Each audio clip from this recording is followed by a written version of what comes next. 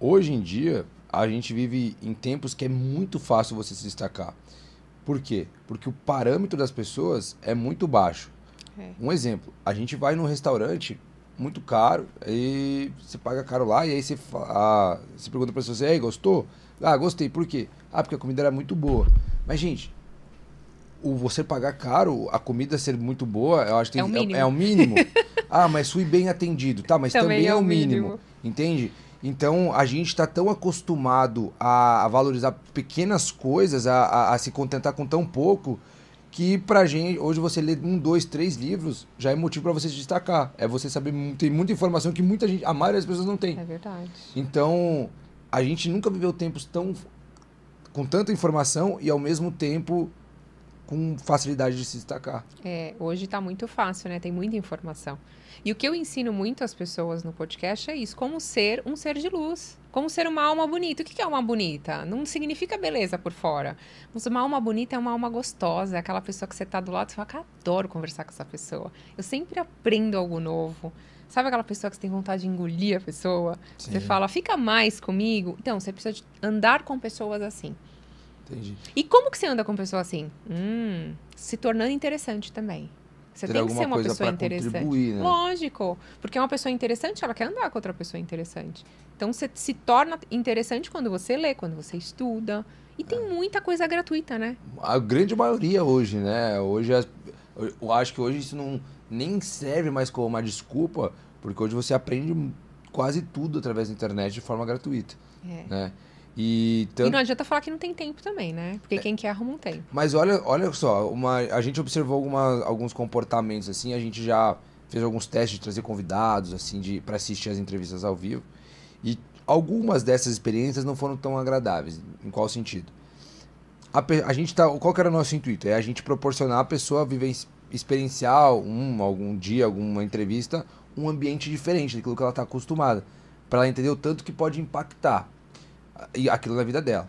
Só que aí a pessoa, ela, a- a- na, na sua grande maioria, ela não está preocupada com o que ela tem para contribuir, ela quer saber o que ela tem para receber. É.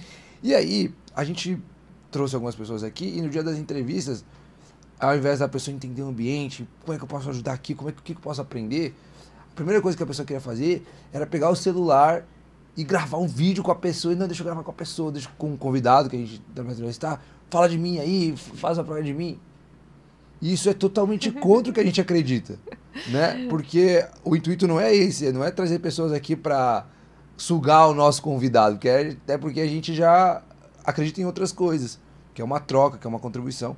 Então, eu acho que tem esse essa, Essa cultura instalada, é, né? É. Como é que a gente muda isso? Como é que a gente passa dessa fase de receber para contribuir? É, Eu acho que pensando nisso, na lei do retorno. Eu imagino sempre uma roda, assim. Então, você tá aqui em cima, mas às vezes você pode estar aqui embaixo e vice-versa. Então, o que, que você sempre tem que pensar? O que eu tô fazendo? Por isso que quando você tá no agora, que eu mostrei ali, você tem mais consciência das suas ações. É, eu tô fazendo algo que vai ser uma contribuição para as pessoas? Eu tô falando alguma coisa que vai ser uma contribuição? Não vai ser? Então, eu pensei, fica quieto. Não vou agir. Porque hoje as pessoas por exemplo, a pessoa quer mudar de vida, mas ela tá num emprego que ela não gosta muito. Aí sabe o que ela faz? Ela entrega 50%, 60%.